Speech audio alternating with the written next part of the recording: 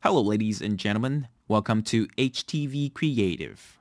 Today we're going to be talking about something really simple. We're going to be focusing on the right corner over here. Now it doesn't show you just yet, but if you click on one of the template or one layer, this section will pop out and we're going to work from top to bottom. First, we have copy. Now this guy is pretty self-explanatory. If you click copy, you get two of them. It's magic. Just like that. Moving on to the next one, we have...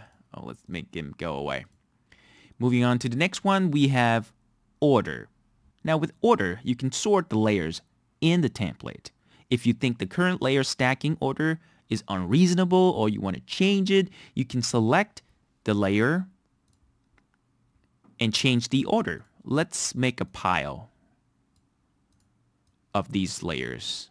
We have stacked some of the layers here and then you want to move you want to move this guy back. You click order and you can choose to send it backwards and it's going to be behind the letter Y. And you can also send it backward even more and that white ghost is all the way behind. And also you can bring one layer all the way to the front from the very back. Just like that.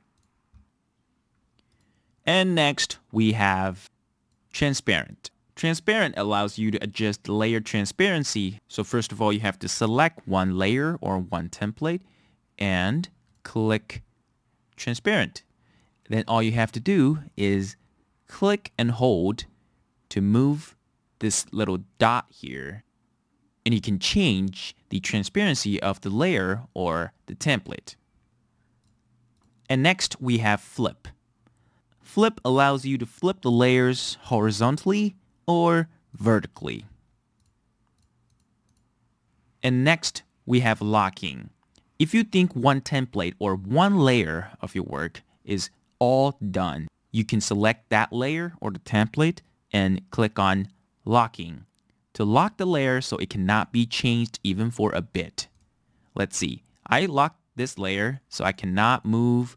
I cannot do anything about this layer.